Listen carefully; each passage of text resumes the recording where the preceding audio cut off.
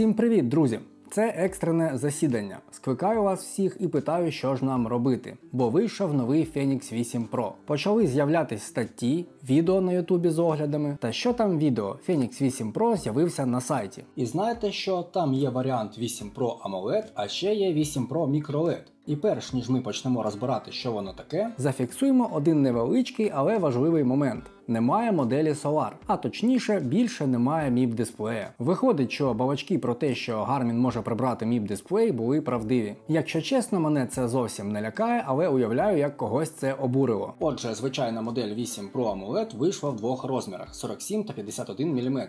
А модель з типом дисплею MicroLED має лише один розмір 51 мм. Але це я озвучив діаметр корпусу. Всі ви знаєте, що існують ще деякі ключові розміри. Це, наприклад, товщина. Мені здавалося, що після Phoenix 5 Garmin намагався зменшити товщину кожної наступної моделі, або хоча б збільшити автономність, не збільшуючи при цьому вагу та товщину. Модель Phoenix 8 AMOLED мала прогрес 14,7 мм, але модель Phoenix 8 Pro MicroLED товстіша майже на 3 мм. Це пов'язано з новим функціоналом, про який я трохи пізніше розповім. А зараз давайте розберемо, що ж це за MicroLED такий, який, до речі, коштує на 700 доларів більше, ніж звичайний Phoenix 8 Pro AMOLED, і на 800 доларів дорожче за звичайний Phoenix 8. Garmin ніколи цього не робив, але зараз прямо на сайті є заявлена яскравість цього дисплея. Це 4,5 тисячі ніт. Нам невідомо, яку насправді яскравість має Epix або Phoenix 8 AMOLED. Garmin раніше про це не казав. Проте нам відомо, що Apple Watch Ultra 2 має 3000 ніт. Тобто виходить, що в даний момент Garmin захотів стати переможцем, бо це найяскравіший дисплей з усіх смарт-годинників, які зараз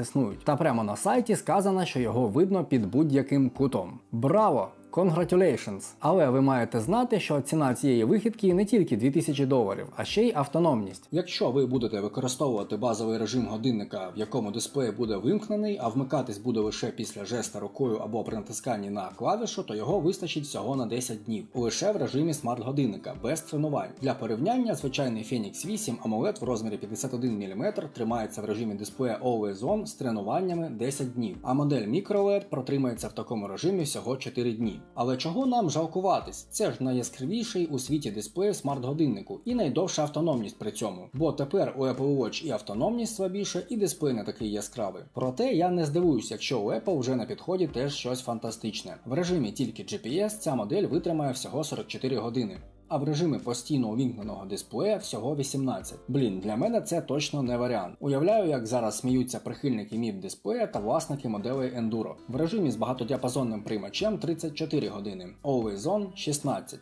а з LTE це 17 та 10 годин відповідно. Але звичайна модель 8 Pro не настільки втратила автономність, а навіть трохи підібрала, якщо дивитись на режим смарт-годинника з постійно увімкненим дисплеєм. Перед вами вся інформація щодо автономності цих моделей. Можете поставити на паузу та подивитись. А далі я розповім про нові можливості в моделях 8 Pro. Отже, головне це LTE модуль, який дозволить використовувати функцію LiveTrack без телефону. Це значить, що ваші друзі можуть слідкувати за вами, тобто відстежувати ваше місцезнаходження в реальному часі. А якщо ви рухаєтесь вже по створеному маршруту, можуть бачити цей маршрут та де ви на ньому. А також однією з функцій LTE є текстові повідомлення. Їх можна буде відправляти з годинника без телефона. І тут, мабуть, прикольно те, що ця фішка оживляє Garmin Messenger, який підтримує навіть Phoenix 7. Але для використання цієї функції має бути встановлений додаток на телефоні. І без телефона це працювати не буде. Також через цю можливість надсилати повідомлення можна надіслати своє місце знаходження та навіть голосове повідомлення, яке ще буде з текстовим варіантом, тобто не обов'язково його слухати. Але я нічого не зможу вам відправити, якщо у вас не встановлений додаток Garmin Messenger.